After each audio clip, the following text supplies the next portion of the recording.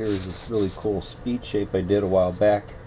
Uh, it was as I just started using Inspire paints and and it was just an experiment and fun. A little bit of metal grinding, some candy colors, a whole bunch of use of FBS tapes. As a matter of fact, this was just when I started using FBS also.